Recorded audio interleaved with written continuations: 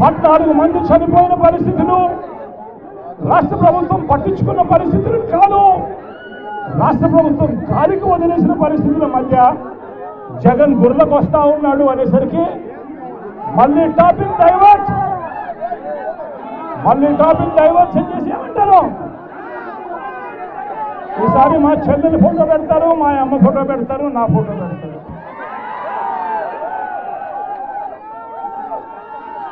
అయ్యా చంద్రబాబు అయ్యా రాధాకృష్ణ ఆంధ్రజ్యోతి అయ్యా ఈనాడు రామోజీరావు.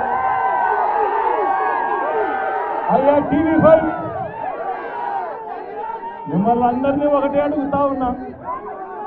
అయ్యా మీ ఇళ్ళలో ఇటువంటి కుటుంబ గొడవలే లేవా అని అడుగుతా ఉన్నా. అయ్యా ఇవన్నీ గర్ గర్కి కహానీలు ఇవన్నీ ప్రతి ఇంట్లో ఉన్న విషయాలే.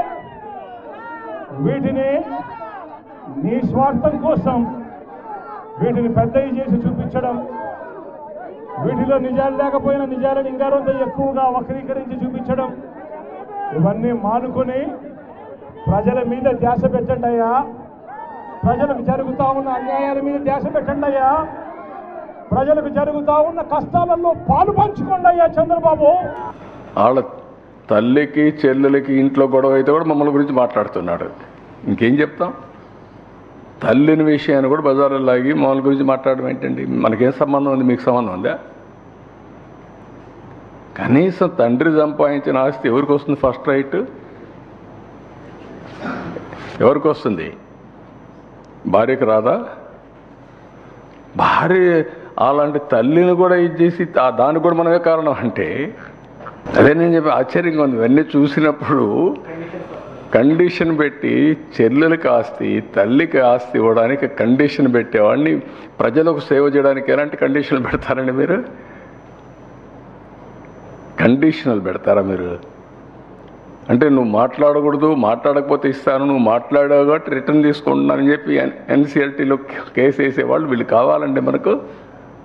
అంటే ఏం కంట్రోల్ చేస్తారు? ఎవరిని కంట్రోల్ చేస్తారు? ఇలాంటి వ్యక్తి అంటే నేను ఎప్పుడు కూడా నా లైఫ్లో ఇలాంటి వ్యక్తులతో రాజకీయం చేస్తాను అని ఊహించలేదు. గుర్తుపెట్టుకోండి మీరందరూ. డెఫినెట్గా నేను పాలిటిక్స్ చేశాను ఫైట్ చేశాను. సమ ఉద్యోగులతో ఫైట్ చేశాం. రాజకీయ నాయకులతో ఫైట్ చేశాం. రాజకీయ పోరాటాలు సిద్ధాంతపరంగా చేశాం అభివృద్ధి పరంగా చేశాం నిలదీశాం. ఓసారి వాళ్ళు చెప్పినప్పుడు దాన్ని ఏ విధంగా మనం సమర్థించాలి కానీ లేకుంటే అధికారంలో ఉన్నప్పుడు సమర్థించడం కానీ దాంట్లో జస్టిఫికేషన్ చేయడం కానీ అపోజిషన్లో ఉన్న ప్రజల తరపున ఎప్పటికప్పుడు రాజీ లేని పోరాటాలు చేశాం. దాంట్లో తప్పులేదు ఇదేంటండి చిల్లర రాజకీయాలు?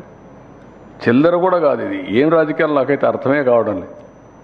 ఇలాంటి వాళ్ళకి సమాధానాలు చెప్పడం కానీ ఇలాంటి వాళ్ళతో మాట్లాడడం కానీ ఇలాంటి వాళ్ళు రాజకీయాల్లో ఉన్నారని మనం గుర్తించడం కానీ.